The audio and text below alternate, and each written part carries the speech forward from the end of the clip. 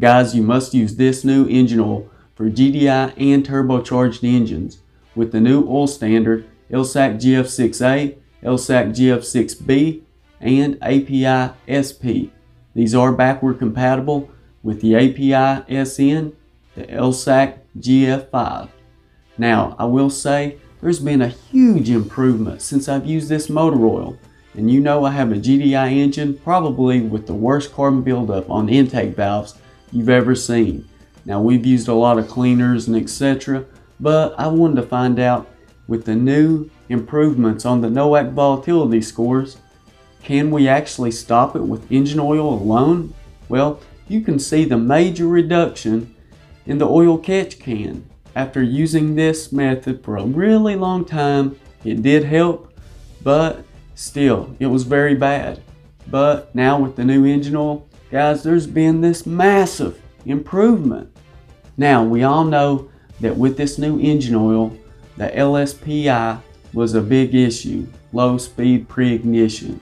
But that was one of the things they actually wanted to accomplish with the new engine oil because the oil vapor getting into the combustion chamber can cause pre-ignition. Guys, you can do some serious damage to your engine. This is particularly the case when you have a turbocharged direct injection engine. They're under much more pressure, intense heat, so many more problems. You need to cool down the turbo and lubricate it so the oil is really having to do more work with these newer engines. Not to mention timing chain wear. You ever hear your vehicle's timing chain when you start your vehicle up? And does it continue for a prolonged period of time? If so, this is not good obviously. And the extensive timing chain wear that's been taking place within people's engines is another issue they've needed to solve. But I will say they can't really blame this on the oil. These car manufacturers are making these chains smaller and smaller, thinner and thinner. I mean, it's unbelievable. You would think they would want to make something to last, to try and help their reputation out, but that's just not the case. Apparently, they're not really concerned about that sort of thing. So, they want to just make sure that it gets them through the warranty period and it's basically on the engine oil manufacturer to make all the necessary improvements.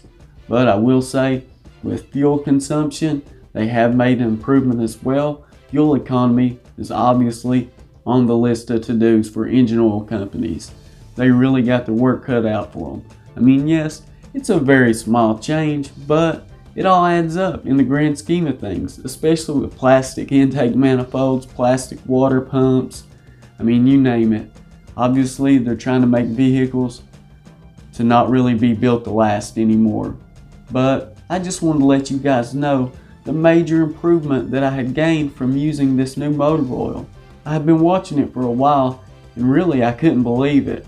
I just kept checking things out and was thinking to myself, wow, what an improvement, but really, what's doing all this? And then I noticed, well, the only thing I've really changed is the motor oil. I've used this newer engine oil and it's actually made a great difference. I mean, it's almost non-existent.